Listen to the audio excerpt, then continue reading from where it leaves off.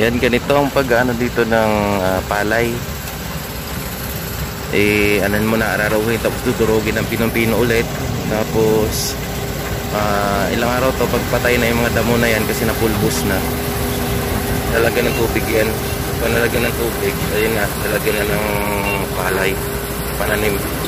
Di, ang sa atin iba, ah, araruhin muna, ayun na, tubig, o, binubuksan na, para ibababad yung, ibababad yung, ano na to, yung lupa. Tapos pag nababad na ng mga 3 days, ganyan, tataniman na yan ng, ano, ng palay. So, hintay-hintayin lang natin pag nataniman na. Yeah, alos same lang yung proseso dito. Araruhin tapos anuhin ng pinong-pino. Pu- Pupulbusin yung lupa. Tapos yun ah, palay na kasunod. Ibababara ng ano yan sa kabila. Oh. Tataniman din ng palay yan after na ma-harvest lahat ng ano na yan. Ah, repolyo.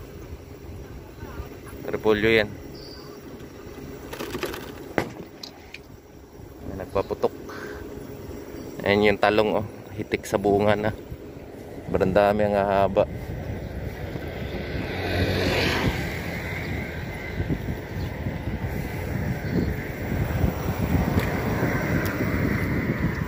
Ayan red beans.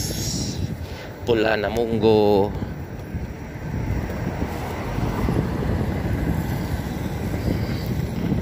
Yan, tinutubigan na. Tataniman na naman yan. Ito, hindi ko lang alam ano tatanim dito. Na-harvest na yung red beans dito.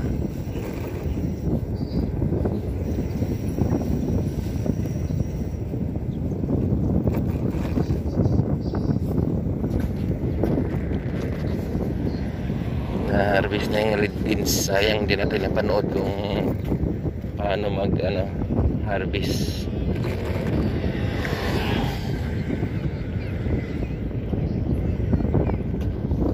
ito uh, harvestin pa lang yan, naka, parang binibilad na yung pinakaano niya pag dried na dried na siya saka siya dadaanan nung di makina nila na pang ano pang ani na dito kasi puro di makina na eh. Ayan talong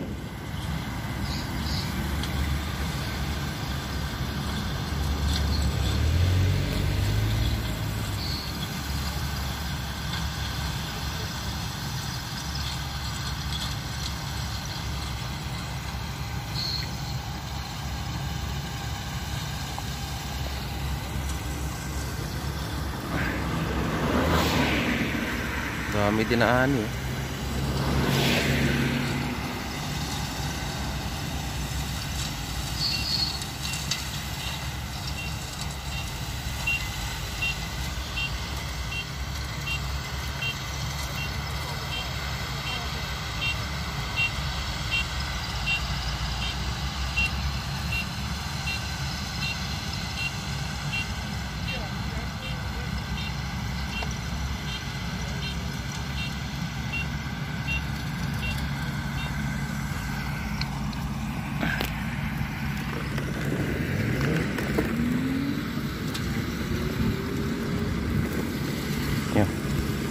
tulay-tulay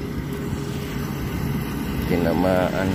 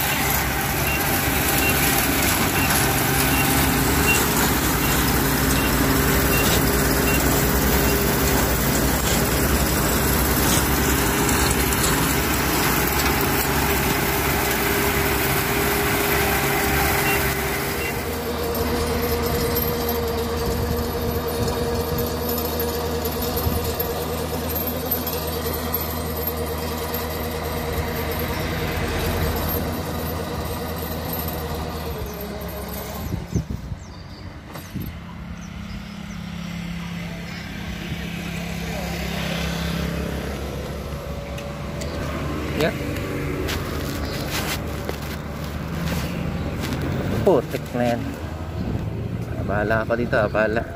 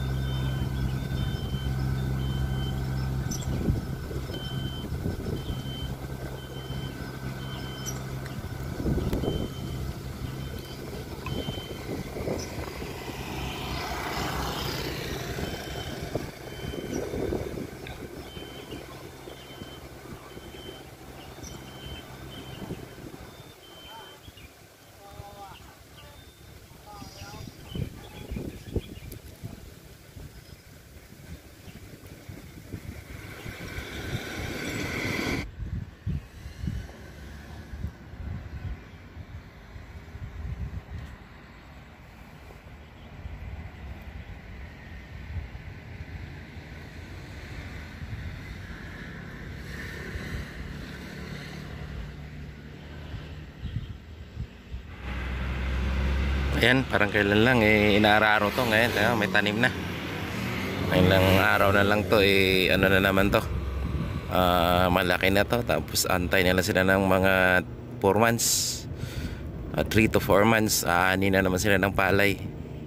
So, talagang napakaano nila rito. Ang bilis ng pag-ano ng agriculture pati sa ah, industry nila.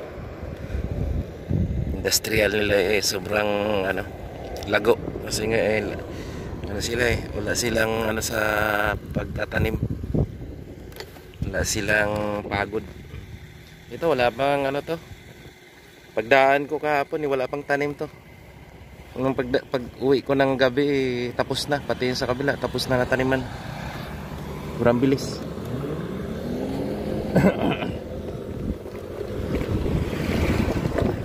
Kaya yung mga ano dito, yung may malupit na tip. Yung mga gustong makarami ng ano, makarami ng subscriber. Ang gawin nyo, magpunta kayo sa mga LS, may pagkaibigan kayo doon.